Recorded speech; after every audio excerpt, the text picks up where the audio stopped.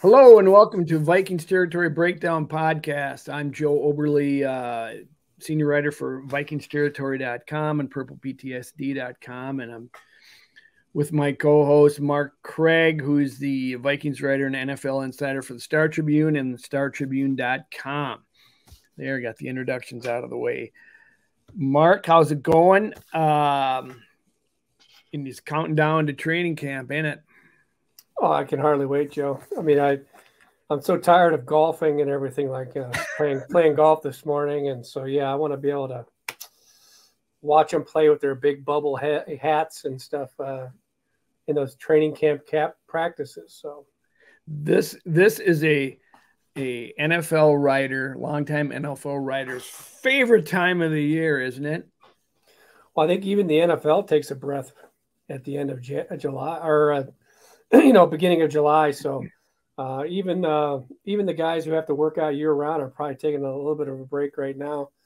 Uh, so coaches, uh, I think the Vikings even started shutting the building down. I mean, like I don't believe it uh, for like a week or two weeks in July here. So everyone except for you know people on websites like this, and we're the only ones yammering on about it. Yeah, as you can tell, that's why I'm trying to fill fill a segment here. Mark, how's your golf game? Just kidding. Don't answer that. Um, anyway, uh, we wanted to take a little more of an in-depth dive on uh, head coach Kevin O'Connell this week as we're getting closer to camp and where he gets to start season two. Uh, Kevin O'Connell, first year as a head coach last year, pretty dang successful. He uh, comes here with not the the greatest resume for head coach. I mean, he's he was drafted by the New England Patriots in two for the 2008 season. Uh, he, he lasted two games. He played in two games, threw uh, six passes, completed four for 66 yards. No, for 23 yards. I'm sorry. And then he started moving. Detroit Lions, New York Jets, Miami Dolphins, second stint with the Jets, and then the Chargers. Well, then he hung up coaching and I'm sorry, playing and became a coach with the Browns in 2015, then the 49ers in uh, he was on their offensive staff. Then he was with Washington, uh, where he met old Kirk Cousin on Jay Gruden's staff. Then he went to the Rams and picked up a, uh, a Super Bowl ring as offensive coordinator there, and then came to the Vikings. So that's kind of the long and short of him. Mark, what uh, uh, what would you say when you say that, look at that resume for uh, all of a sudden a head coach and and uh, in this league? What do you think? Well, I mean, Sean McVay and a Super Bowl ring was what got him a head coaching job. I mean, he's um, he had quite the you know quite the, the upbringing in the McVay tree. So yeah, I mean, it wasn't it didn't I think him playing under Belichick and kind of uh, um, you know, getting that uh, understanding of coaching. Uh, you know, he's he's the modern. He's I mean, like as we said, whenever we were doing the transition from Zimmer to the new coach, he was everything that Zimmer wasn't. He was young, played in the league, played quarterback, likes Kirk Cousins. Um, you know, can relate to Kirk, Kirk Cousins. Um, completely different, you know, age wise and uh, style wise and coaching. So, uh, it was you know pretty good year you know I, I, but I that hang up for me is that is, is getting that third you know getting that home game and playoff game and then what happened to him in the playoffs. So uh, I think he did a, a, pretty good job but I you know I wouldn't you know I, I had him uh, on my because this year was the first year for the Associated Press voters. You had to you know tier your votes you know one two three and I had him as third. You know I had Kyle Shanahan as um, you know my pick for coach of the year. Uh, I thought what he did, Kyle Shanahan did with his quarterbacks was amazing, keeping them in it, um, not only through one injury, but two injuries. Uh, I didn't have Daboll, who ended up winning. I had, I didn't have him in the top three. Uh, I forget who I had two, but I had O'Connell three. And I, I, I pitched that to O'Connell and said, I got your number three in my book. And uh, he was like, yeah, that's fair. That's fair. I think some people would say that uh, you know, Daboll doesn't call his own plays in, in uh, with the Giants. So mm-hmm. I think what O'Connell might have done might have been, you know, the Giants have been down for so long. Um, and and I think O'Connell was probably set up a little more to win right away, uh, if as long as they didn't, you know, kill themselves with penalties and stuff like that. Right. Uh, but I still feel like O'Connell did a probably I would probably I would have I did rank him ahead of Daboll when it came to that because I, you know, not only a head coach but he's also calling his own plays. So uh, I had this question on here for you, so I'll ask it now. So, do you believe that you know, talking about last year, did he get lucky in 2002, or was he better than we might have expected?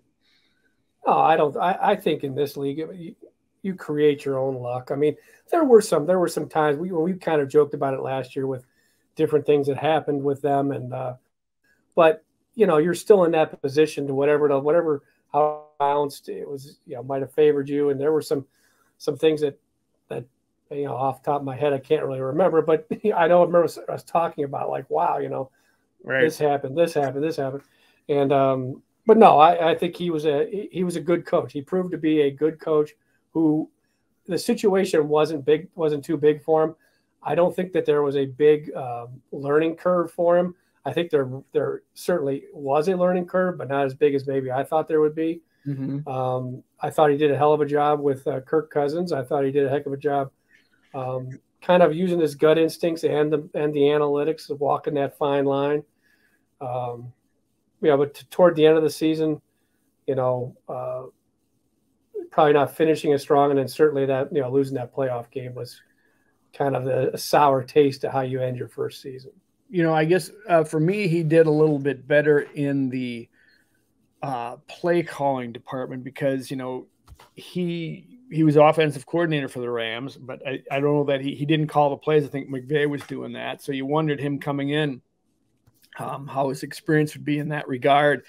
And I thought he did a good job. I mean, he made a lot of the a lot of great decisions through the way. At least we could we we figure. And uh, so I was a little I was uh, not totally surprised, but I was pleased by that because you worried that you know a first year head coach would be overwhelmed by it and that he would, uh, you know, all of a sudden he's got to pl- call the play as well. He he took that uh, you know the reins on that offense and uh, he had him doing some some very interesting things and and uh, it was actually a fun offense to watch. I mean, they had you know you got Justin Jefferson, you got Kirk Cousins. Kirk had one of his better seasons as a pro and certainly in winning games. You know, so some of that has to be attributed to uh, O'Connell, wouldn't you say? Oh yeah, I think for sure, and I think you know Kirk's you know statistically it was not one of his better years, but I think he played the position better, um, maybe as better as best as he's ever played it.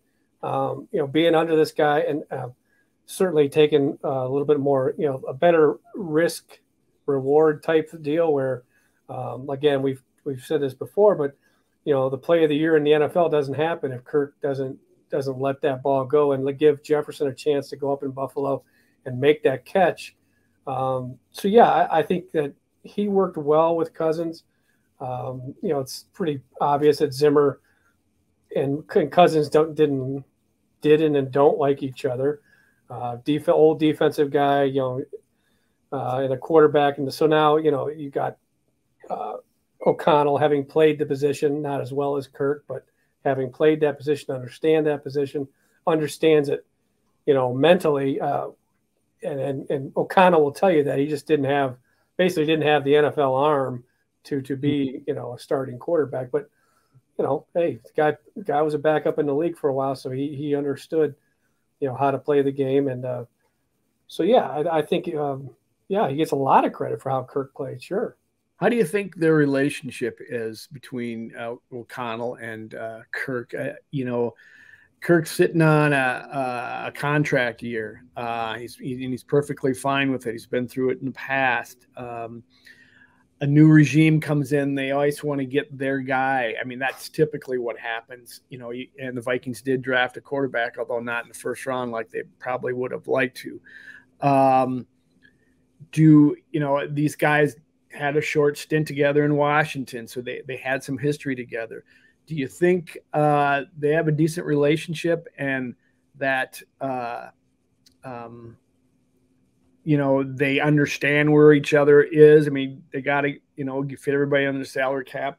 Kirk makes a lot of money. Um, Kirk would love some security, but he doesn't need it. You know, I mean, do you, do you, what do you think that relationship is like, and do you think it's it's something you can build on, or is it just like, is this a placeholder season for Kirk, and then they're gonna eventually, you know, as soon as possible, bring in their own guy? Oh, I think what happens, the future will be written this season. The future, what we what that Kirk's um, Kirk's future beyond this season is not, you know, you can't say that it's been decided because it hasn't. I mean, it's they've put the ball, uh, the, the situation with their where they were financially, uh, where they were with Kirk's contract, where they are with actually with, you know, whether they want to go farther along down the road with Kirk is right there. It's all in front of all of them, and I think Kirk is is proven to be mature enough. He's been through this going back to high school, uh, kind of in a prove it, prove it, prove it mode.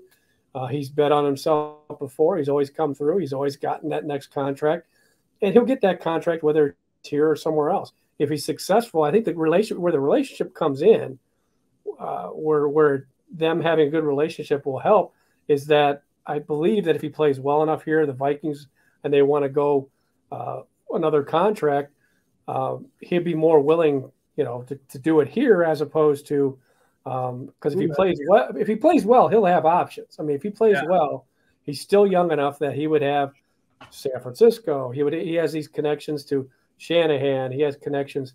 Uh, McVay, you know, McVay. Yeah, the Rams could be. You know, I mean, we don't know what's going to happen. I mean, if if they if they miss the playoffs and Kirk's terrible, then it kind of you know the the advantage goes to Kirk doesn't have the advantage. So uh, the Vikings probably don't want him uh, going beyond this year. But I think it's set up to where you know Kirk. This is the first time since 2015 that Kirk has had a same play caller, mm-hmm. uh, offensive coordinator, back to back years. So yeah, they're set up to go the next step, and the, the next step is is for them to to win a playoff game and and to be you know, make a playoff run. And so yeah, if, the, where the relationship helps them is that Kirk would be I think be sign on, you know, would sign on and come back, and uh, you know that that's that's the that's what everybody kind of I would think would hope for. Even if you don't like Kirk Cousins, I mean, how can you, you know, if they were to do be successful and go another step? Yep. Um, I mean, he's he is one of the top, you know, ten quarterbacks in the league. That that's an interesting point. You know, a good season for both would make would uh, make fertile ground for for resigning him, and and and I would be for that. I mean, I, I obviously there's nobody ready to step into the wings yet. Now, if they if they have a terrible season, then then then maybe the Vikings are headed down to the front end of the draft down there, and they can pick up a decent quarterback and start grooming him. But yeah, that's that, that's an interesting way to look at it.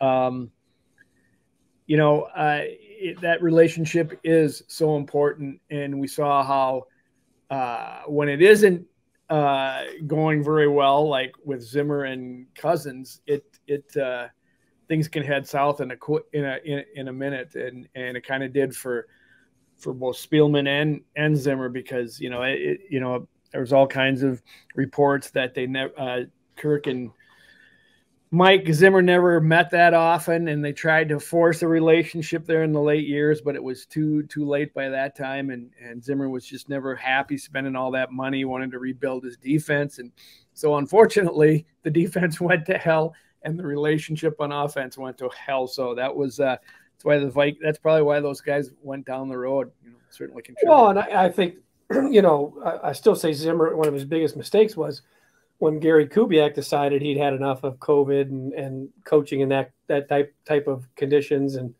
uh, and, and retired again, you know, to just slide um, uh, Clint Kubiak over and Gary Kubiak retired and slide Clint Kubiak in and just think that you're keeping everything the same because it's a Kubiak was a huge mistake. Um, you know, I think Cousins uh, worked well with with Gary and you know, they had, you know, the, they were a pretty good offense at that you know, point. It wasn't like they were a terrible offense. And um, at that point, when it, you know, it's not having that uh, offensive coordinator, if you're going to be an old school defensive guy, your offensive coordinator's got to be, you know, top notch. He's got to be exactly what you're looking for. And it's got to work out. You got a good relationship. Just like if you're a young offensive guru, your defensive coordinator's got to work. And that's where we saw one of, uh, Kevin's biggest, you know, missteps was picking a defensive coordinator, and that's that's no small uh, misstep for you know as he found out that they were kind of uh, right. They weren't on the same page from very early on in the season. Gary or um, Kevin didn't get him on. Uh, didn't didn't get didn't change him enough to to to be happy with it and fired him. I mean that decision was made. I'm, I'm guessing very very soon, sooner than whenever it was announced. So yeah, it just never worked out. So that's what you need whenever you're on one side of the ball. You need the other side of the ball taken care of. Yeah, it'd be nice for the Vikings to to sync that up for once. I mean, with Zimmer through his years, he had he had guys good on offense, but soon if they were good, boom, they were gone the next year. And uh, then he had the guy from uh, uh, the Eagles that didn't work out on offense. And he had the the one you just talked to. I can't even think of his name. He didn't want to. Uh, well, we had a couple couple that didn't work, so it'd be nice to get you know got the offense going maybe maybe now with uh, Brian Flores, this hire will help him. Of course, he'll do well and be gone anyway, too. So, anyway, with that, we'll take a quick break and we'll come back and talk some more uh, on Kevin O'Connell, take a deeper dive into the head coach, and uh, we'll be back with more on the Vikings territory breakdown. Okay, welcome back to Vikings Territory Breakdown Podcast with Mark Craig from the Star Tribune. We're talking about Kevin O'Connell, head coach of the Minnesota Vikings, who's about to start his uh, second season, his sophomore season it and uh, as the head coach. Um, you know, he did. He was 13 and four in his first year. He's, uh, uh and I'm going to ask that question later, uh, but uh, he did have a good season. But I, I, let let's let's look at him and who he is and what makes him up. Mark, what do you think are his strengths and weaknesses as a coach so far that you've seen? You only had one year to to make that uh, determination. But uh, I'm sure some things uh, have come to the fore. What what would you say are, are uh, KOC's strengths? I would say strengths include, um, you know, getting the you know um, what it takes to um, relate to the modern player. I mean, it's kumbaya, the, baby, kumbaya. It's the kumbaya. That's something I, I you know kind of uh, laugh about and make fun of, but it is a different, it's a different world. You you know the the Parcells style. Um, you know, I was reading reading a book on uh, the Big Blue uh, Machine or something like that on Parcells. Mm-hmm. It's funny. It's a there's a part in there where the left tackle is off. You know, he busts up his chin. The left tackle is getting his his chin sewn up, and Parcells comes down and goes, "Where the hell is such and such?" Uh, drawing a blank on his name, but um, get in there, you know. And so he the guy runs in and he's got a he's got thread and a needle hanging off his chin um, as he's playing the you know playing the game in the in the 89 in the, the, the Super Bowl team in 90 uh, 90 or, or 86 one or the other um, just things like that you know uh, and that's Ronnie Lott Ronnie Lott yeah uh, so there's a different way of coaching there's a different way and Wes Wes Phillips was really good on explaining uh, you know just you can't you can't can't give him the kick in the ass like you used to uh, so I guess that's a that's maybe um, that's a strength of his. Now, when we get to weaknesses, we could also say that there's, uh, in some ways, can he adjust when he needs to adjust and be firm when he has to? Whenever you're trying, not say he's trying to be their friend, but you're coaching in a certain way. There's always going to be a moment where you're going to get a player or something where you got to like, hey, I am still the boss. You know, right? Can, right. can he do that? You know, I, I you know, I don't know, uh, but you know, he, he had a good 13 wins. Uh, another strength I would say is um, he's got a good instinct. He's got he got a you know he does have a to hear it to sit and talk to him. I mean, they all have to know what they're talking about, but to see, to hear him like uh, I know that he's he, he he has like he uses about 10 or 12 10, 10 or 50 times more words than he needs to when he's in a press conference. I think mm-hmm. I think it might be that by design because the, the number of questions gets shrunk very very uh, down quite a bit because if he's going on and on and on and on. Oh, that's what but, you and I do. We got yeah. So segment, so so, uh, so to me that he you know to hear him uh, uh, talk about what he saw, what he so he has a pretty good he has a really good mind for offensive football, and I feel like he has a good instinct uh, balance between gut instinct and uh, and analytics. Hmm. Um, now, now weaknesses. Yeah. I mean, there are some weaknesses at 13 wins, but if you look at now, this team did get beat 40 to 3 at home by the Cowboys. This team right. did get blocked team, that one out, Mark. So this team uh, also, you know, twenty four to seven against the Eagles, second week of the year. You know, I, am almost like, you know, hey, that's that's going to happen. That's a, it's an outstanding team. You're on the road, prime time, uh, but you come home and you're roll, you're you're you're a pretty good team, and you get beat forty to three by the Cowboys at home. Last six games of the year, including the playoffs, you're three and three. You're zero and two in your division. You, you know that that really bad loss against the uh, at Lambeau, the bad loss against Detroit, uh, and then you lose at home against the Giants. Uh, and also, if you this would maybe play into what I was saying about how can you get firm with the players when you need to. Mm-hmm. A big part of that loss in Lambeau Field was was the just the you know wearing the shoes, wearing the uh, you know they didn't want to they didn't they went against what the team was telling, them, what the coach was telling them, what the what uh, uh, Dennis Ryan was telling them. Um, hey, you know you got to wear this this this cleat, and that may seem like a small thing, but you know that by the time they got their footing in Green Bay, yeah, they they, they were they were a beaten team. I so, thought that terrible move for whatever whoever you're throwing hanging that on. That was that that to me that that's how they lost that game. That you know.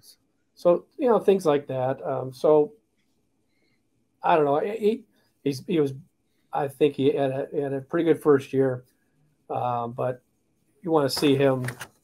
You know, you, he's, not, he's not a finished product. Let's put it that way you mentioned earlier, I mean, last segment you talk about uh, Ed Donatell, and he made that hire, and he knew that it wasn't working out, and he tried to get him, I think, to change up things a little bit. I don't know, but maybe that comes into what you're saying. Maybe he doesn't have the ability as well to just walk into the defensive room and say, "Ed, cover somebody," you know, and uh, you know, we got to change things up here. We can't, you know, blah blah blah blah blah, and, and it didn't really happen. I, I, I, we didn't see a marked difference in the way Ed was doing the defense the whole season. And you think at some point you got to change that. Yeah, I, I, would say you know if, if, if, trying to boil it down into a nutshell, it's can you make the transition tradition transition from being the you know which I think is a pretty good new wave modern coach, uh, motivating in that way to, you know, I'm the boss you know, this is we got to get this. You know, you know, being firm, being, being like there's times to be,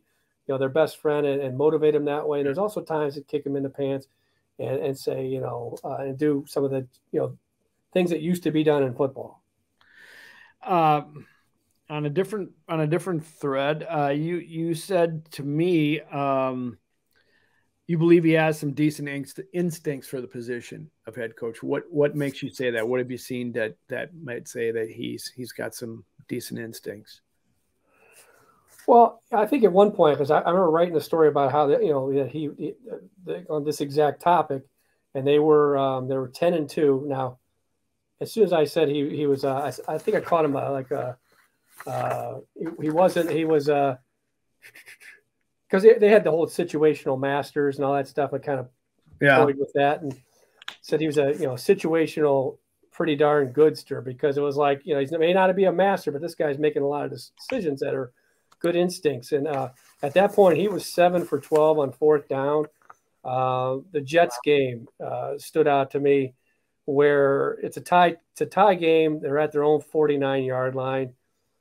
You know they had kind of a sluggish start, and he and it was fourth and it wasn't like fourth and inches. It was like fourth and two, a long two, and he went for it, which I thought, you know, at the time I'm like, yeah, that. I mean, he did that, things like that. I thought throughout mm-hmm. the season. So it's fourth and two. You're at your you're at your own 49 yard line. You're in a tie tie game tie game at home with a team that you should beat.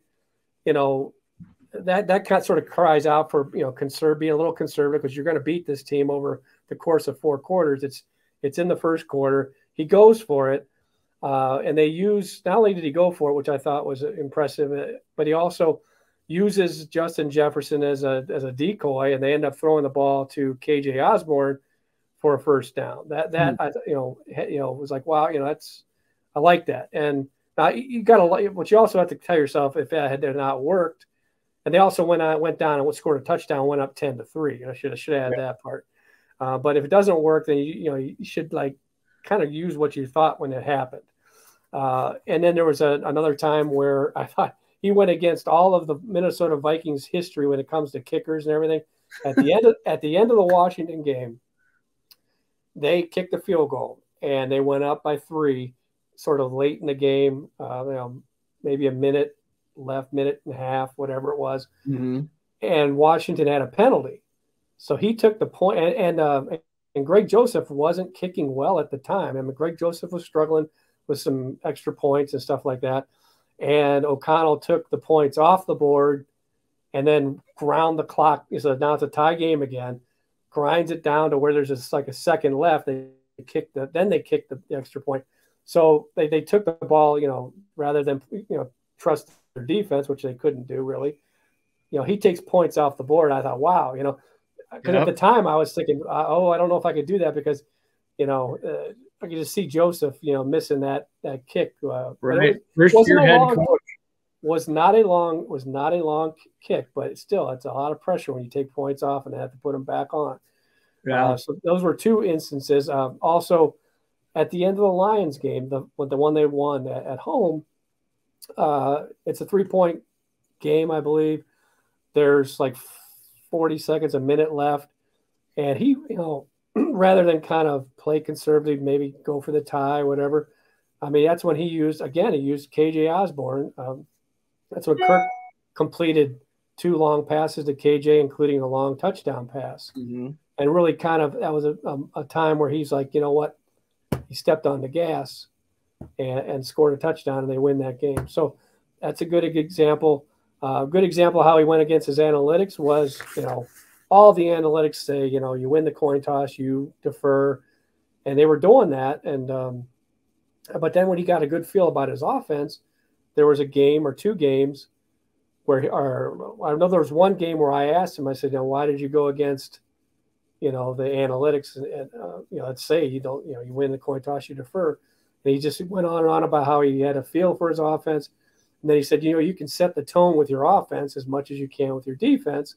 And then he kind of smiled and said, the basically the analytics people hate when I do that, but sometimes I got to do that, you know, which I thought was really good. Mm-hmm. Um, you you say he, proved to be a bit of a risk taker uh, uh, in last season, and uh, I, I think that's a little bit different than his predecessor was on offense. I don't know that Zimmer took a lot of risks. I mean, on his defense, he would when he make a call on defense and do some blitzing. I think he was a little more aggressive, but uh, uh, can can you point to some of that, or maybe that's what you were just doing? There's some times when uh, Kevin O'Connell was was taking some risks, and and uh, well, you know, I think O'Connell last year ended up nine of nineteen on fourth down. Um, so that good. That's pretty good, right?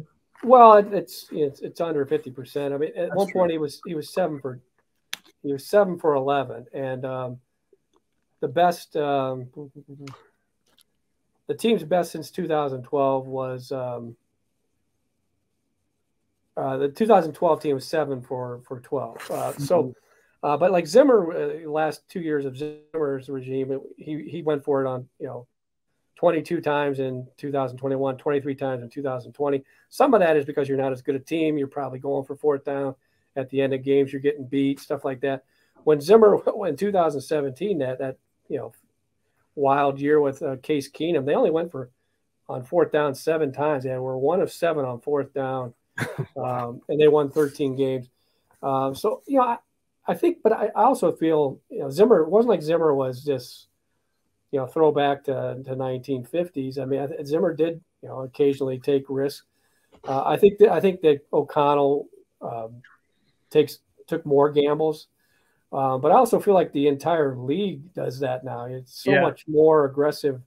The league is aggressive now, and I feel like if you don't and it's not just the young guys. Andy Reid, if you have a good team, you know you take a lot of risks. I mean, Andy Reid, I mean, it helps having Patrick Mahomes and all that uh, firepower, but Andy Reid's a guy that's you know is almost Zimmer's age, yeah, uh, or yeah, I think he's a couple years younger than Zimmer, uh, but um, you know he he's every bit as aggressive as these younger guys, and I like I, like where the league is going when it comes to these these guys and, so do I. aggressive they are. It's it's good to have a coach that's willing to do that. I mean, you know, nine times out of ten, when they are going for it on fourth, or or you know, when when the down and distance uh, warrants it, I'm saying uh, go, you know, I'm, I'm, sitting at my house and saying, go for it, go for it, you know, because that's what you want. You want that offense to keep going.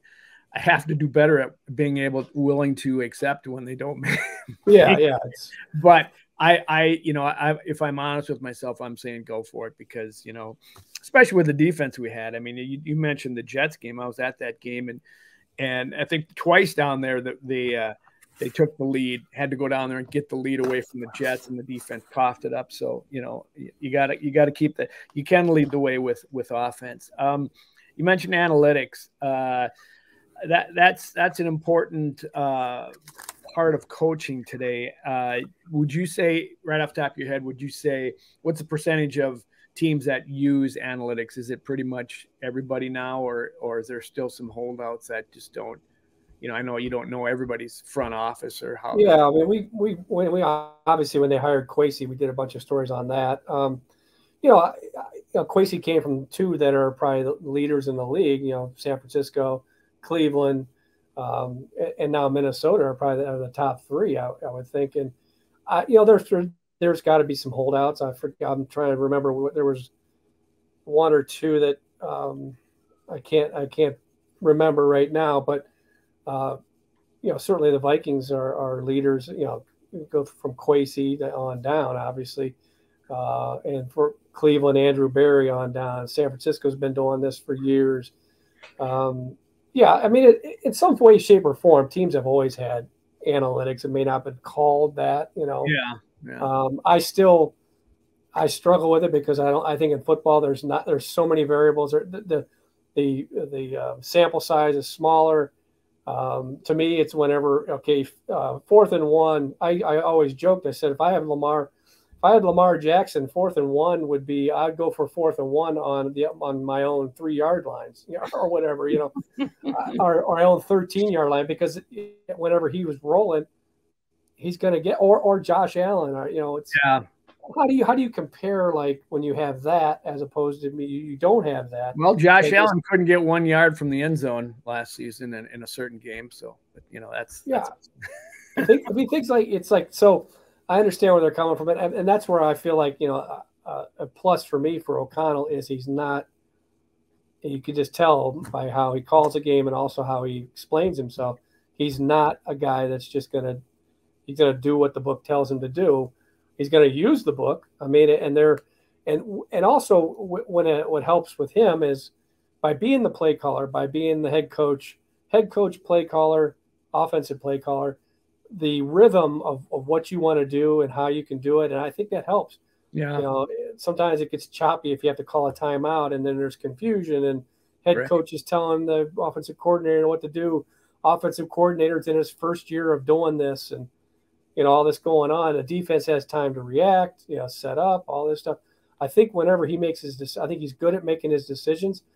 However, it gets streamlined through the. He's got a his situational master uh, that's uh, that's kind of monitoring all of this this part of the game. Um, you know, it, it, you know gets feeds him the information, and he makes. You know, I think he's pretty good at making quick decisions. And then obviously being the, the play caller, he knows what he wants to go with. So it, it, you know they got guys up in the booth that are looking at it, you know, saying, okay, they got the analytics over here. They're sending them down. This is what the analytics say to do, and then he's got to factor in his gut, and then he's got to make the final call. It all comes down to him. So he doesn't have to do what the analytics say, but he's open to it. Is that what you're kind of saying? So he he yeah uh, for sure. Um, you know, ultimately that's uh, you know, I think you got to factor it in but it can't be it can't be all of it because you know you know you're if you're right you're right nobody cares. That's what you should have done. If you're wrong then you're going to get lambasted by fans and the media you know and uh, um, the paycheck's pretty good but that's still not the best the best uh, way to live. So I, I, guess that's that that's the way it is. I guess there's not really a question here, but I mean, I, I, think I'm I'm very happy that the Vikings have a team that's open to it, that's good at it. Maybe they've got some guys that you know can think think fast because you don't have a whole hell of a lot of time to make these decisions and and get these things down to a coach and and he's got to make a play. It's it's it's not it's not an easy thing. I I would think. Well, yeah, and for me, for the analytics, um, you know, probably where where it, it would be. It's got to be proven. It's got has to start with the draft because that that with what whatever goes into all of Kwesi's decisions and everything, um, to me is uh, and, and I, like Dalvin Cook um, is is you know that that's an analytics situation that I think any even your your dumbest analytics team could figure out. Hey, running backs 28 years old. You know we all know about running backs and you're playing the odds and stuff like that. But um, you know, I don't know what goes into the analytics for his his draft picks, but I think uh, over time we won't know until over until there's been time. You know, like I like the, like Andrew Booth is a good example. What what convinces you that Andrew Booth to take him where they where they took him uh, with his injury history and um, and if he if he does if his injuries don't ever go away and he's a bust or he's a he's a guy that just can't stay healthy, it's like like to know you know because my analytics you know what did it tell you what what did they tell you about this guy that may that maybe you know the rest of us were saying it to keep your hands off of a guy who's got an injury history. Yeah, yeah there's so much that goes. You make a great point about how many variables it have to, and I, I, you know, just in the the small, totally tangential experience as coaching grade school basketball that uh, I couldn't. I didn't want to call timeouts because I didn't have anything else to say, and it, you're coaching on the fly and. And I can't imagine it in the NFL. You have some time and you can take a timeout and think about things when you need to. But God, it's such a game of momentum. And if if your offense is rolling, and you got the back, the defense on their heels and don't give them a chance to to recover, you can either force them to take a timeout. I mean, you, you, you don't want to screw up and give that defense a chance to to collect themselves and make the right decision. So it's it's it's tough. I think, I think he has a little bracelet that says WWJD. What would Joe do? Yeah, that's got to. then, then they probably watch films of your your basketball games and and think, you know. Okay.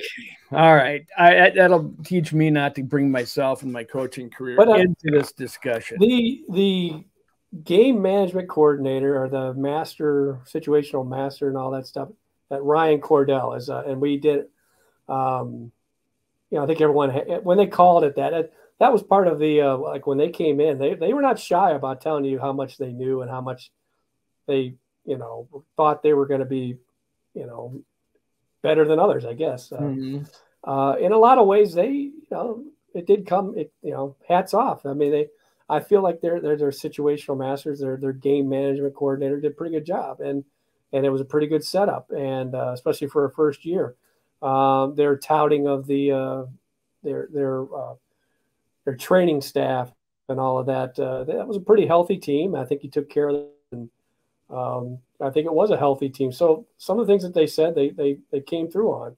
Uh, I also feel like, you know, it just it all comes back to how did it end? You know, it's like, you know, hey, real good start to the year, but man, I just can't I can't rubber stamp it as a great year because people get people, players get uh, injured, players older players start to be less effective maybe as the season goes on. And and maybe that's why their numbers when you talked about you know how well they did on fourth down earlier maybe that starts changing at the I, I don't know. And maybe other coaches reacting to how Kevin O'Connell coached and they start maybe getting some tape on him and maybe the second time around. Certainly certainly the uh, Giants saw him the second time around and were ready for him so I, I don't know. Maybe that that may have yeah, I mean the the Vikings got Daniel Jones paid. I mean yeah, we'll see yeah. how Daniel Jones does but the, he should be sending some of that money to Ed Donatell they made him look like Steve Young uh, in that playoff game well, you know, just like coaching grade school basketball and, and the frenetic pace that that has, I mean, keeping you filled with uh, good questions uh, to keep this thing rolling is just as tough a job here. I probably should have called a timeout before I asked and talked about my, yeah. my coaching experience. So I'm going to do it now. We're going to take another break. Timeout. And we'll be right back. All right, folks, welcome back to Vikings Territory Breakdown. Uh, as much as I'd love to talk about, you know, more about my high school or a grade school girls basketball coaching experience, when in fact we did win a tournament, and my plan was to keep them in there, despite the fact their tongues were hanging down to here because they didn't have anything to tell them. But we won't talk about that. I won't talk about that and fill a segment with that. I, uh, I guess I'll I'll just uh, hit you with this one, uh, Mark. What would you you know the guy was thirteen and four. He won a division for the Vikings, which uh, you know Zimmer hadn't the previous year. Um, and they got a playoff game. They didn't do well in the playoff game, but they still had a great season, especially as a in a rookie campaign. And they they they ran it back. They didn't, you know, they did their competitive rebuild. You know, some aging guys with new faces. So, what kind of grade would you give uh, KOC on his first year as an NFL head coach? I guess. Uh, first year as an NFL coach, I, I would say uh, blah, blah, blah, uh, uh, B minus a B minus? Well, only because you know they they were, um, I, you know, he was kind of. I mean, the the, um, the being staying, competitive. you know, the the the Wolf saying we're gonna we're gonna still gonna be super competitive. The yep. competitive rebuild. Uh, uh, they, you know, he was he was set up uh, personnel wise, yes, know, to, to, be successful. Okay, uh, so I feel like you know you know the personnel was there for him. Um, wasn't like you, like you go to Chicago and they tore everything apart for you. So you know I feel like he should have had you know a decent season. Now he took it to a different to another level. Um, when the when the number one seed was was there for him, you know, and we talked about earlier in the year. I don't know, I forget where it fell, but the you know getting dis- destroyed at home by the Cowboys was yep. you know, you know that you got to ding him for that. Uh, and then when you're you're going down the stretch and that number one seed is in reach, yeah. and you know how important it is because Philadelphia, you know, beat your butt in week two, and you know you can't you, you don't you can't go back to Philadelphia, and then to lose to the Lions, um, at you know on the road to, to lose to the Packers, your your your two division teams there that you played down the stretch, um, and they did beat the the Bears in the last game, but. Um, you know, then that Packers, you know, that that they needed that Packers game because that was you know, they're still in the in the hunt for that number one seed and all this stuff. Um, you know, that that hurts. That that's I got to you know ding him for that and and then the playoff game. You know, it just right. I know I know things. Your defensive coordinator, uh, it, you needed a new defensive coordinator. I know all that stuff. Yeah, but to me, it was um, yeah, it's yeah, your offense wasn't good enough either that day. So uh, yeah, so I'd say yeah, good robust B minus, which I would have taken and ran to the clubhouse with when I was in school. Right. Well, you know, you you mentioned uh, the well, we both mentioned the competitive rebuild. Should they have done that? Uh, should they not? Shouldn't they have re? I mean, they're kind of rebuilding right now. Um, they're they got rid of most, you know, some big name uh, uh, aging veterans. Eric Kendricks, Patrick Peterson, uh, Dalvin Cook, Adam Thielen on both offense and defense, and had to get rid of those contracts for those older guys um, who are still all, you know, are going to contribute for somebody this year. Um, you know, you're a new coach, head coach coming in, your new regime. You want to do it your way because that's ultimately what you're going to be judged on, not on what you can do as Zimmer's players totally. Uh, should they have rebuilt last year and and and taken their knocks and so that they're quicker forward? Are are are, are the Vikings a year behind now because they did the competitive rebuild and uh, or do they just have a better idea of what they have? I don't know. What what are your thoughts on that? Oh, because... Oh, no, I mean, no, I I mean. They were in a different situation than the Bears. The Bears were closer to the bottom, and the Bears had their had their starting quarterback that they want to build around uh, so it's a different situation. Uh, you know, the Bears were closer to to needing the uh, explode, you know, to have it blown apart. I mean, if you if you did that, if you tore the Vikings apart last year, you don't have. I mean, last year was a lot of fun. You know, oh last yeah. Year, last year was 11 one win, 11 and 0 in one, you know, in the regular season, 11 and 0 in one score games. I mean that. I mean the Buffalo game, the uh, Colts game. I mean they set a record for the biggest comeback in NFL history uh, had the best game in the league uh, at Buffalo, and they won. Upset, you know, it was an upset. Um, you, you, win a division, you win 13 games. Uh, to me, you know, I wouldn't trade that. I mean, yeah, it didn't end right, but I would. I, you always, you're to me, you're always trying to win. If, if you got a team that you feel like can can go, and they had a home game, they they should have gone farther. So yeah, the, the, what they did was spot on. I mean, that, oh, you're not going to get me to argue it. I've been watching them since '61, and I, I, uh, this top five season for me. I, I, I had as much fun watching them this past season because of the emotion, and the drama, and the way they won, and the craziness and and the epicness and the record fashion that they did. That yeah, no, I, I, I, had a blast. So I, I, I'm not saying as a fan standpoint. I'm talking about from from the coach's standpoint because when you come in as a new regime you you got to build that up and do your own thing and you know if if if uh, they did blow it up then then then they're in line to maybe draft one of those quarterbacks this year that they they probably need they know they're going to need in the future and now going forward what's what's it going to be for o- O'Connell? Is his honeymoon period over because he went 13 and 4 last year and now he might be a victim of his own success where the, the fans are going to say, okay, you were 13 and 4 last year. If you're not that way this year, when in fact you're rebuilding, we're going to get on your ass big time. Maybe, you know, is, does, uh, does that say anything to you? Is there anything you, you think about that? Well, uh, it's funny because I remember you know, we, we talk, sit around talking to Bud Grant, and anytime, you know, like it'd be like, what advice would you have for this new coach or that new coach? Bud would always joke, you know, don't be too good too fast. You know, see, uh, that's what I'm saying. so you know, I think and Bud was like, uh, I think Bud was one and five coming out of the shoot or something like that. Uh, yeah. Uh, so yeah, I mean, but to me, I mean, what do you? I mean, you don't give that up. I mean, it's not like this year. I mean, they, they should they uh, people should expect them to win the division. I mean, mm-hmm. that, I mean, Detroit's the popular pick, and uh, you know the Bears could be a surprise team. The Packers, who knows? Maybe Jordan Love's got it. Uh, Packers still have pretty good defense, and um, you know, but to me, you should expect them to win. I mean, they, they have they have a good they have a they have a quarterback that they can win with. You know, uh, offensive line is a strength uh, should be a strength. Uh, tackles certainly are. Uh, you got the receivers you need. You got uh, running backs are still good enough. They made a commitment to to getting first downs in short yardage situations, so you should stay on the field longer. Uh, defensive coordinator should be better. So it's not like you know, well, well, we didn't get it last year, so now they're they're going to be like a two win team. You know, I think that they still are a threat in the NFC uh, where they're at. So I think you know they're uh, you know, they didn't throw, you know, Kirk Cousins away. It, it, they've just kind of put themselves into a position like, you know, we know we want to go this far with him. Do we want to go farther? Mm-hmm. Uh, and that that'll be determined.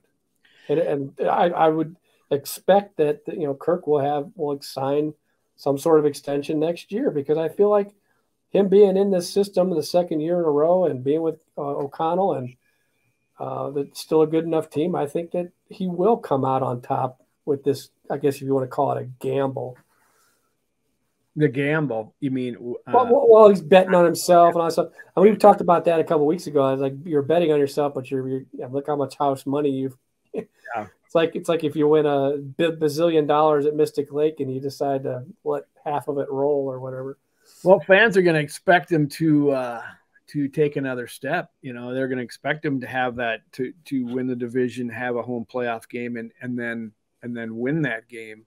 Um, I'm not sure that that's in the cards for what's going on with you know that you know they're rebuilding the defense. What do you think? Well, I think secretly all Vikings fans expect something to go wrong at the end because it typically does, right? I mean, that's you talk to any any Vikings fan that with the scar tissue that they have uh, you know, and rightfully so. I mean, uh, the, their best teams, you know, have either fallen short Super Bowl or are in mo- the modern day, the modern fans.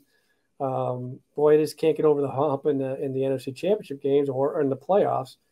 Uh, this was a different a different type of. Uh, it wasn't a kicker that screwed up uh, in the playoffs, but yeah. the people should expect them, yes, to, to you know, get a home playoff game, win a playoff game, be in the hunt. But you know, a lot has to go right. You know, I mean, there's, there's also, you know, Philadelphia is is is a still even though they had a lot of people, uh, a lot of players leave and stuff. Philadelphia still has, you know, still has a heck of a team, and so San Francisco could he be better? Yeah. Uh, so yeah, it's, it's not going to be easy, but I think yeah that they're they're one of the teams to beat. a lot of a lot of has to go right, and you could, uh, you know, I was just thinking something when you said earlier when you talked about the best play of the year, Kirk had to throw that pass out there. I mean, you can hold that up as there we go. That on one side of the coin as the best play of the year, and then you can go to the other side and look at Kirk Cousins not exactly making the play to throw that pass short of the sticks and end the playoff game at home against a team they should have beat. So uh, you got your yin and yang there. Things all have to line up. I'm not blaming laying that all on Kirk's feet. You know, there's a lot of different things that happen in that play, and but to see him throw that pass to Justin Jefferson in the Buffalo game and just say, oh, I got to go for it. And then in that game, he just didn't go for it. You know, he uh, he threw it to uh, short of the sticks. Oh my goodness, what a what a bummer way well, to end. But that that's exact. You you hit the nail nail on the head. Uh, is that in that game? Kirk is You're 31. hit the nail on the head. Yeah, uh, and that's that's well another one of my cliches. I don't know if you ever heard that statement, that, that comment. Oh.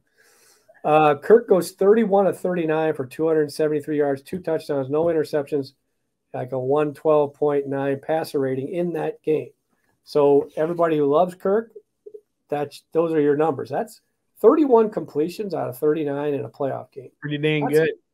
But as you said, there's where where Kirk is, you, there's enough fuel for both sides of this div- divided argument is you know you just laid it out i mean um, the way that that kind of there were times when when um, games or or series you know drives end with these like you, know, you come they come off the field and you're like you know that's all you got i mean it was like they can have the quickest most disappointing deflating three and outs or or ending to drives or games that you'll ever see but then he can also play extremely well. That's being a Vikings fan, and uh, wonder it would be nice if Kevin O'Connell could somehow rise above all that and make this team into one that you know you the one that I used to watch in the 70s when you you, you the the vision was a given and I'm sorry to say that because you know I was I was a kid back then and and and uh, but every year you expected the Vikings to either be in the hunt for it or to win the division because that's just what they did. The Packers were no good. Uh, the Lions were the Lions, and and you know it was just it was just there for the taking. Well, um, I don't know that you can do that in today's NFL. There's too too many ways that uh, teams can go up and down so quickly. So it's but it would be nice to know that you know you're not uh, uh lining up on in on your couch on Sunday and and hoping, you know, okay, are we going to win this one? When a little bit of yeah, we should win this and we're going to win this one and we're not going to go do it, but you know. Well, you know, and the way the Packers found the, the modern way the Packers found a way to to stay on top was they just happened to draft two Hall of Fame quarterbacks back to back. And, and I'm reading the, the Vince Lombardi book now. Um, uh, one of the best sports book, the best sports book I've read. Um, but uh, even he, even Vince Lombardi back in in 1959, 60, talking about the pro game was like uh, the one thing he didn't like uh, about the pro game was that the, it's a it's the ultimate team game, but the quarterback has too much importance in, the in that team game. You know, like so. Yeah. You know, we look back and say like someone like Bart Starr as being like a million years ago, and but you know that was his guy that you know stood above the others, was able to call his own plays on the field and and be the you know field general and still could throw the ball a little bit. Uh, but you know, the, you take that and multiply it by you know a million for today's game, and it's all about. It's not all about the quarterback, but you know, it's so much more about the quarterback than anything else, which is why you know you. Which is why they you know you when you had Kirk, you might not be the best in the league, but you you roll with him, and they're still rolling with him and uh, it's time for him to step up and whether they're going to continue to to roll with him. Kevin O'Connell knows that. You know, he's itching at some point to get some quarterback that he can start grooming for for the future. And uh, um, you know, I hope he doesn't take Bud's advice to heart. I want him to win next year. Expect well, it, you know, two for crying out loud. I mean, part of this uh, doesn't work if you if Kirk has a different personality. Um, you know, Kirk could could definitely get very miffed about it, and and you know, all you got to do is look over in Green Bay, and they obviously those guys uh, when they got upset with their teams, uh, I mean, a little more uh, pelts on the wall, Favre and Rodgers and, and Kirk, but Kirk could have pitched a fit. Um, and probably might have pitched a fit if, if he has a different head coach. So that relationship going forward, uh, whether Kirk stays here, know, or how they how they perform this year with that looming over top of his head, uh, free agency looming, um, is no small feat for a for a quarterback and a co- coach to, to navigate. Yeah. Well, it should be an interesting season going forward, both for Kevin O'Connell and for everybody else, as usual. And it's coming up soon in a couple weeks. Uh, training camp's going to start, maybe a few weeks here yet. The training camp will start, and we'll have much more to talk about. We're going to have more to talk about in the meantime. Uh, um, you know, it's it, it a uh, as usual, it's just another fascinating uh, season to to to look at because there's so much, and we'll find we'll learn more about Kevin O'Connell as he goes into this training camp and and moves forward. He's got a bunch of younger players, more uh, you know, to to navigate. He's got uh, um, he's got he's got his offense pretty much intact, which seems the way he wants to. So uh, I don't know. I, I I expect it won't be you know, uh, six and eleven season. I think they're going to be, you know, right there uh, at 500 and battling to go above and and and for that division. And and a lot of it comes down to KOC, right? Oh yeah, I mean a, a huge part of it um, comes down to him and um, and how he, you know, how aggressive he is. Well, uh, and you know, and, and I, I fully expect him to, to get better. I thought it was a good year. I think he'll get better. That's nice. That's that's a good point to end on uh, we did it. We spent the whole uh, show talking about the head coach, so that's pretty good. You know, that's that's you know uh, we're even better than we thought. Mark. So yeah, so we've said he's good. Uh, so when he gets fired at, at when they're at the tenth week of the season, we'll we'll say, well, we saw it coming. You know, this guy was no good, and we we knew it back in July. Oh God, yep, you can see it coming. Brian Flores will be the next head coach. No, I'm kidding. All right. Well, thanks. Thanks, Mark. Appreciate it. Uh, thanks, Mike Walden behind the scenes. Thanks to everybody for for tuning in and checking us out. We'll be back again next week. And thanks to Joe Johnson, who is going to somehow upstairs, he's going to guide this team to a Super Bowl championship at some point. I hope it's uh, before I join him someday. Just kidding. Uh, Joe, hats off to you and to everybody else out there. We'll see you next time. Skol. Skol.